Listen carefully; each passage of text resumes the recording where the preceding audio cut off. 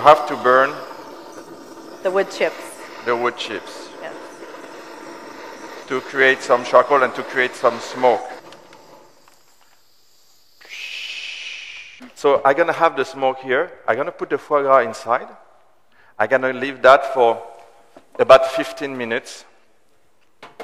I'm gonna, I I will do that again three or four times. You do it 10 times if you want. It's up to you about the flavor of the, the smoky flavor you want to add to your product.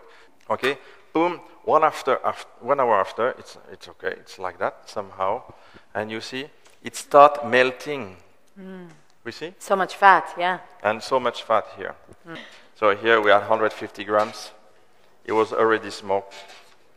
Beside of that, um, we, we prepare some chicken stock. Chi- chicken stock is here, and what we're gonna do here, I take this Bamix. I'm gonna put the foie gras inside. I'm gonna take one deciliter of chicken stock. So it doesn't work. Two, three. So you get it quite liquid. Yes, Very somehow. liquidy. Yes, yes, yes. We're gonna add one egg here, One a whole egg. Here we have cream and milk. Okay, the milk was 40 grams and the cream was 20 grams. Okay, and you see that's very liquid. So we're gonna steam that. We're gonna put that in a small container. So we pass that into this strainer.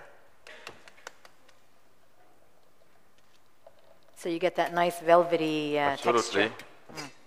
And here, all right, put some paper. And we're going to put that two third. So it's like a foie gras cappuccino. That's a foie gras crème brûlée, I would say.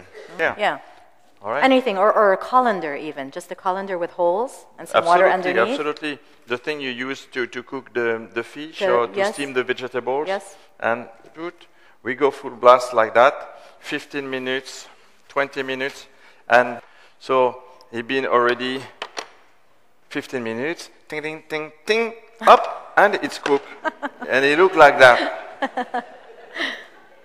Voila! Voila. Okay, thank you. I see you tomorrow. No, no, no. no, no, that's not for that. Thank you, thank you, thank you.